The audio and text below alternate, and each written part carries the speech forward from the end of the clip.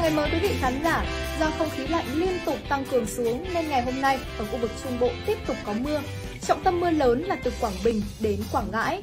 Nguy cơ cao sẽ xảy ra lũ quét và sạt lở đất ở khu vùng núi cũng như là xảy ra ngập úng ở các vùng trũng thấp ven sông.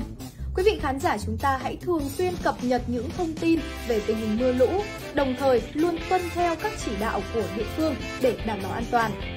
Và cuối cùng, chúc quý vị chúng ta có một đầu tuần thật là nhiều niềm vui cũng như là công việc thành hiệu quả nhé.